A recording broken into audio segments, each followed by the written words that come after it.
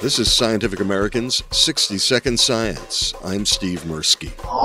The Royal Swedish Academy of Sciences has decided to award the 2017 Nobel Prize in Chemistry jointly to Jacques Dubochet, Joachim Frank, and Richard Henderson for developing cryo-electron microscopy for the high-resolution structure determination of biomolecules in solution. Göran Hansson, Secretary General of the Academy at 5:53 this morning Eastern Time. Dubochet is honorary professor at the University of Lausanne in Switzerland.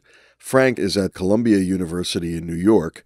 Henderson is at the Laboratory of Molecular Biology in Cambridge. The technique has transformed the electron microscopy from a technique that could be used to just see the shapes, the outer shapes of, of molecules, into one that is now used to see the details, the atoms inside the molecules. Peter Brzezinski is a professor of biochemistry at Stockholm University and a member of the Nobel Committee for Chemistry. And the latest the technical developments occurred very recently. So it's very recent developments that we can actually see the details of, of these molecules.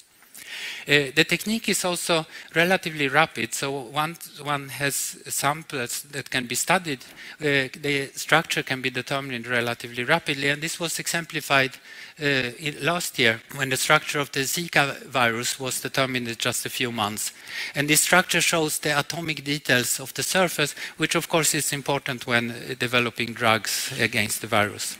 For an in depth listen about the 2017 Nobel Prize in Chemistry, look for the Scientific American Science Talk podcast later today.